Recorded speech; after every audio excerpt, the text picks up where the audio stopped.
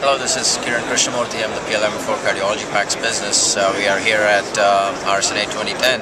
We're going to take a look at a brief overview of cardiology PACS. Uh, on the right, you're looking at uh, some nice images of the tricuspid valve, both in 2D and 3D.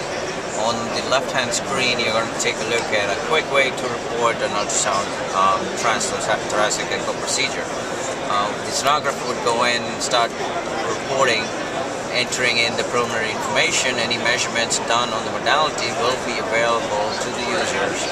Um, and the technologist would, with a single click, populate a structure report, and then any exceptions can be added with ease of use. Let's say the right ventricle was enlarged, and the small clicks are updating the reports live.